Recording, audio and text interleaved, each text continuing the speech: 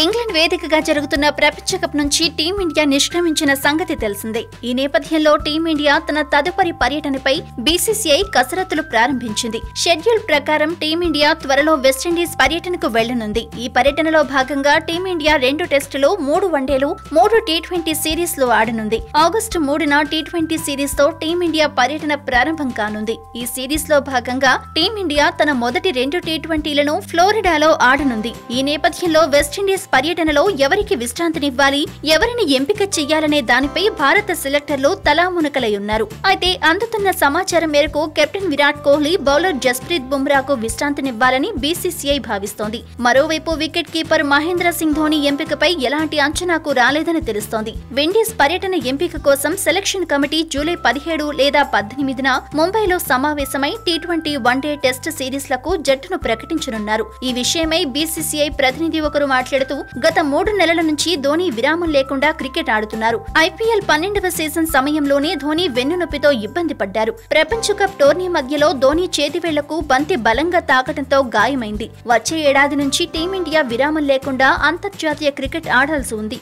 ఈ నేపథ్యంలో ధోనికి విశ్రాంతినివ్వాలని సెలెక్టర్లు భావిస్తున్నారు అని అన్నారు. మరోవైపు విండీస్తో జరగనున్న పరిమిత ఓవర్ల ఫార్మాట్లో విరాట్ కోహ్లీ బుమ్రాకు విశ్రాంతినిచ్చే అవకాశం కనిపిస్తోంది. ఈ ఇద్దరిని టెస్ట్ సిరీస్కు కూడా ఎంపిక చెప్పవచ్చు పేసర్ భువనేశ్వర్ కుమార్ స్థానంలో పేసర్లు ఖలీల్ అహ్మద్ నవదీప్ సైని దీపక్ చాహర్లలో ఎవరో ఒకరిని జట్టులోకి ఎంపిక చేసే అవకాశం ఉంది. ఇక విండీస్ పర్యటనలో విరాట్ కోహ్లీకి విశ్రాంతినిస్తే కనుక రోహిత్ శర్మ వన్డేలో భారత జట్టుకు కెప్టెన్గా వ్యవహరిస్తాడు. టెస్ట్ సిరీస్కు రెహానే నాయకత్వం వహించాడు. అయితే ఈ విషయమై జట్టు మేనేజ్మెంట్తో పాటు కోహ్లీ హెడ్ కోచ్ రవిశాస్త్రిలను సంప్రదించిన తర్వాత సెలెక్టర్లు జట్టు ఎంపికపై తుది నిర్ణయం తీసుకోనున్నారు.